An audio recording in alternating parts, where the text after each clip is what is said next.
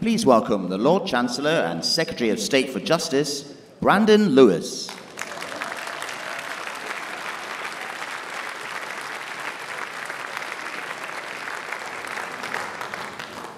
Conference, it is brilliant to be back with you here in Birmingham. It's always a time that I enjoy and one that I look forward to, as I know so many of you do. It's a time for us to come together as one Conservative family to reaffirm our common cause.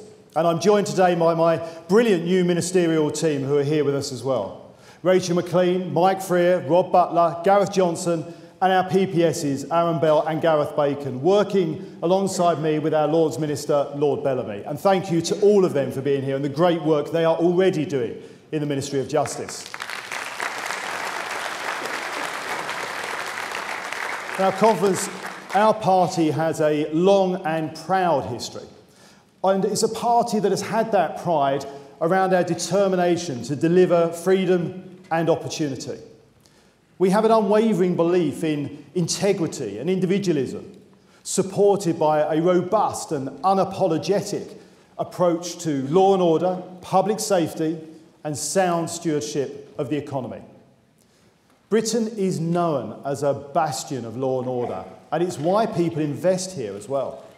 Safety and security for ourselves, for our families, at home, in our neighbourhoods, in our schools and our shops, is the bedrock that allows economic growth to flourish. Public safety means peace of mind. It means safer streets and healthier communities.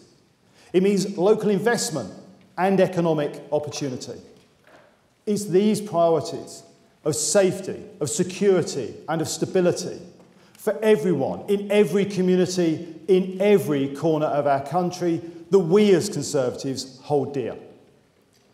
At the forefront of that effort are some true hidden heroes. They are the hidden heroes of our society, many of whom are the backbone of our criminal justice system. Our prison and probation staff, they work hard, so hard, every single day to keep the public safe, to keep us all safe from the most serious and prolific offenders in society. Our dedicated courts and tribunal staff who enable justice to be done in courtrooms across the length and breadth of our country join that team. And it's not just the system that matters, it's the people. Now, this has been a tough time for our country, and the criminal justice system is no different. So we cannot shy away from that. We have to face down those difficulties so that we can do what we are always focused on doing guarantee victims and survivors the access to justice that they deserve. And as your Lord Chancellor and Justice Secretary, I can promise you I will do just that.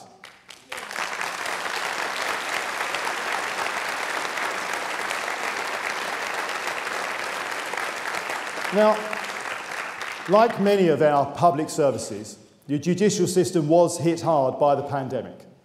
Our courts were closed and justice was therefore delayed and a backlog of cases built up. Now, we've got through the pandemic. Now, I'm determined that we get through those backlogs. I want to make sure that everyone has swift, swift access to justice, whoever they are and wherever they are from. Our justice system should never be, we will not let it be, a lottery. And that's why I've already taken action to address those backlogs.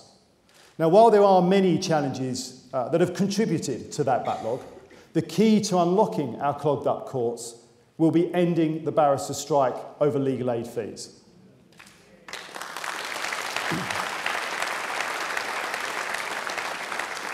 That strike action has had a devastating impact on victims, and justice has been delayed in too many cases. That's why my first few days as Lord Chancellor, I met the Criminal Bar Association. And last week we proposed a comprehensive new package, one that I hope will bring a swift end to the strike. We have to end the revolving door of industrial action, ending a cycle of brinkmanship. We have to ensure, all of us, that we are putting the criminal justice system on a more sustainable footing for the long term. We owe that to victims. Now, that will also allow cases to be heard more quickly for the benefit of all. including victims of some of the most horrific crimes like rape and serious sexual violence.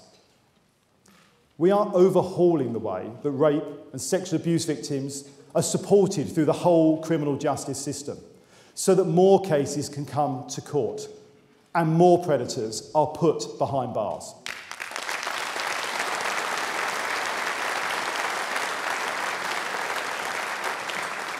At conference, we have made some good progress on this. Convictions are up by two thirds on 2020, and they're up by a quarter compared to before the pandemic hit. But I make no bones about it, we have a lot more to do. I'm determined that we do that. And the government has set out some clear actions already for the police, prosecutors, and our courts to make sure that more rapists are convicted and are put away. We have invested significantly in support for victims and survivors as well, meaning that more support is there for victims when they first report a crime and more support when their case gets to court. We want to reduce the trauma that's involved in the trial process and improve the quality and reliability of the evidence that courts see as a result of that. For example, victims of rape and serious sexual offences can now pre record their evidence ahead of trial avoiding that additional trauma of testifying in a courtroom in front of your accused attacker.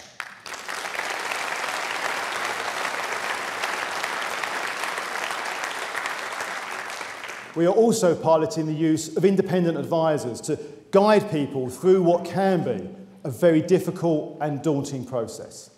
And we're boosting the accessibility of support with a new 24 7 rape and sexual abuse support helpline so that people can access the help they need whenever and wherever they need it.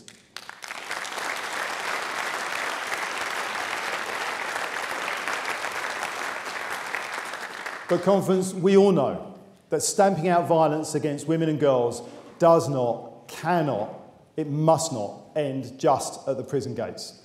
It cannot be right that transgender prisoners, when convicted of serious sexual offences or those who have not had reassignment surgery are housed in a general women's estate.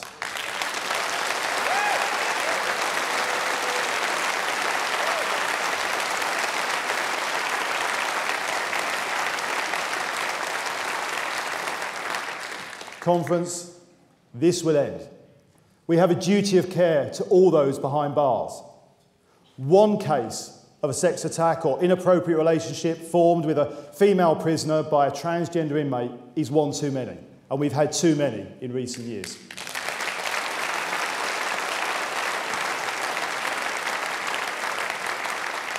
Our management of trans prisoners will rely not just on common sense, but we will also work on capacity. If we need to expand our use of the specialist areas for trans prisoners to further protect women in prison, then we will do that. Indeed, as a government, we are committed to creating 20,000 new prison places across the whole of the system by the middle of this decade.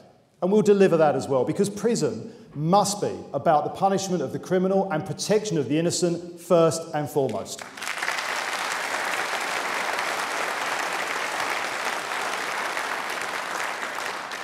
Depriving people who have broken our laws of their liberties to guarantee the rest of us our cherished freedoms is part of what prison is there for. And thanks to our manifesto commitment to recruit 20,000 more police officers, we will be catching and punishing more criminals and preventing crime as we do it. I'm determined to ensure that our prisons keep up with that. But there is more that we need to do to divert people away from prison and away from a life of crime in the first place. We know that hardened career criminals are not born. Sadly, they're made.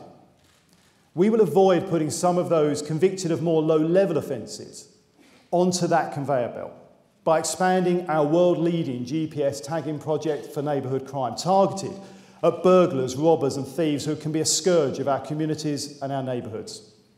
This compulsory electronic monitoring and close supervision will mean that police and our probation officers are able to keep an even closer eye on them when they leave prison. Their whereabouts will be known 24 hours a day, seven days a week, with the ability to impose robust restrictions or, where necessary, effective house arrest.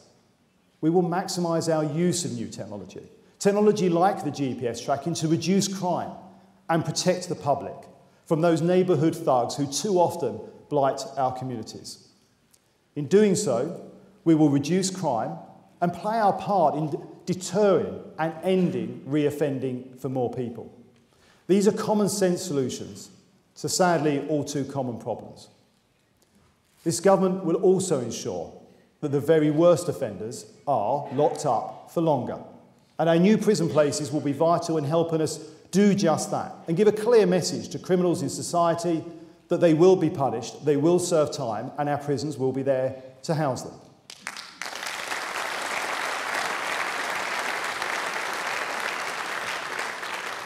Those who commit the most heinous crimes and who commit those in a way that continue to be a threat, all of them must be punished, and the public need to know that they will be protected from them. The guarantee of public protection must be the overriding factor in our parole decisions as well, so that we can secure the rightful confidence of both the victims and the public. Now, to do that, I will make sure that the parole board is more accountable and more transparent about the decisions that are made.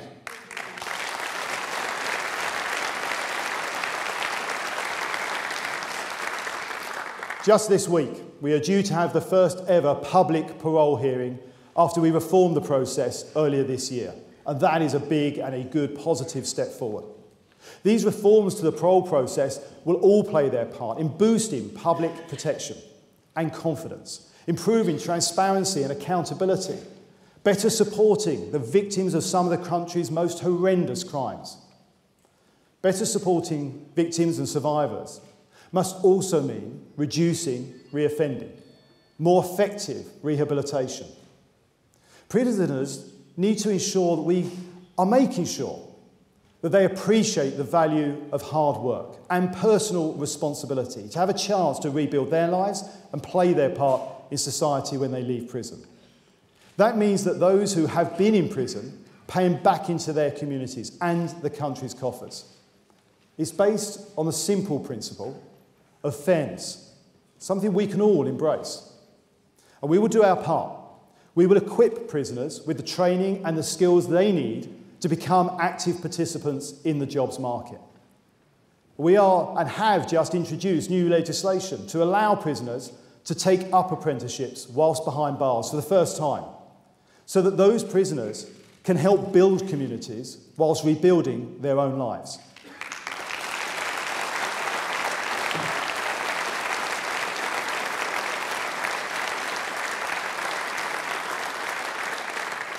Conference, these apprenticeships will give them the skills that they need to get onto the jobs market, to get jobs on release, and to pay their own way. Now, we know across our economy that we cannot tax our way to growth. We have to make sure that we are creating the, the, the conditions for the economy to thrive. Our legal services industry is full of opportunities for growth. It is already worth a positive surplus of 29 billion pounds to the UK economy. It employs over 350,000 people and it is the foundation for over 250 billion pounds worth of international mergers and acquisitions. Thanks to our values, our belief in the rule of law, our traditions and our history, we are the world's counsel and the world's courtroom. English law is recognised around the globe and I will work to promote our exceptional legal services industry to the world and to see it recognised as part of our new post Brexit free trade agreements. The critical importance of our whole justice system to our country cannot be overstated. It underpins all that we do, all that we achieve, all that we believe in. It impacts everyone, everywhere. I take that responsibility to safeguard and sustain that very seriously. Because I know it means peace of mind for all of us and the people we serve. It defines our quality of life. Our justice system is the foundation of what makes Britain great, and it is the envy of the world. For Great Britain is truly great when we have safe streets, healthy neighbourhoods, and thriving communities. That is what we as Conservatives believe in. It's what we strive for. And, conference, is what this Conservative government will deliver. Thank you.